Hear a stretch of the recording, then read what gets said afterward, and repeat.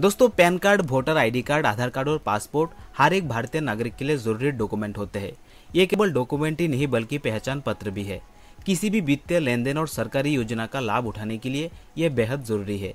ये डॉक्यूमेंट सरकारी पहचान के रूप में भी काम करते हैं।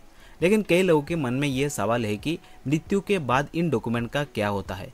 क्या ये अपने आप ही रद्द हो जाते हैं या परिजनों को इसे रद्द करना होता है? तो आइए इसके बारे में डिटेल में जानते हैं। पहला है आधार कार्ड। कई बार जालसाज आधार कार्ड से ज़रूरी जानकारी चुराकर फ्रॉड करते हैं। ऐसे में मृतक के आधार कार्ड का गलत उपयोग ना हो, ये देखना मृतक के परिवार की ज़िम्मेदारी होती है। आधार से जुड़ी सेवाएँ देखने वाले अथॉरिटी यू के पास मृतक के आधार को रद्द कराने की कोई भी प्रक्रिया नहीं है। लेकिन यदि मृतक ने कोई सरकारी योजना ली हुई थी तो वो अवश्य ही आधार से लिंक होगी। ऐसी स्थिति में परिवार वालों को इसकी जानकारी संबंधित विभाग को देनी होती है। इसके बाद है पैन कार्ड। इनकम टैक्स भरने के लिए और कई वित्तीय सुविधाओं का लाभ उठाने के लिए पैन कार्ड का होना अनिवार्य है। ये आपके खाते से लिंक होता है। इसलिए किसी व्यक्ति के मृत्यु होने पर उसके परिवार को आयकर विभाग में संपर्क कर पैन कार्ड को सरेंडर कर देना चाहिए। लेकिन सरेंडर करने से पहले ये सुनिश्चित कर ले कि मृतक के सभी खाते बंद हो चुके हैं। इसके बाद है वोटर आईडी कार्ड। वोट डालने के लिए आपके पास वोटर आईडी कार्ड होना ज़रूरी है।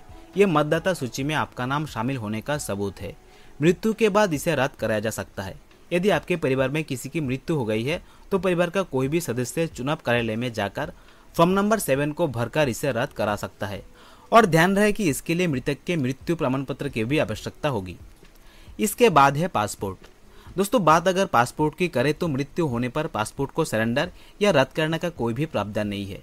जब पासपोर्ट की समय सीमा समाप्त हो जाती है तो ये डिफॉल्टर के तौर पर अमान्य हो जाता है। तो दोस्तों, यह था आज का वीडियो। वीडियो आपको इन्फॉर्मेटिव लगा हो तो वीडियो को एक लाइक ज़रूर कर दे और इस वीडियो को और भी लोगों के पास शेयर कर दे ताकि ये जानकारी और भी लोगों के पास पहुँच सके। तो नेक्स्ट और एक वीडियो में मिलते हैं। Thanks for watching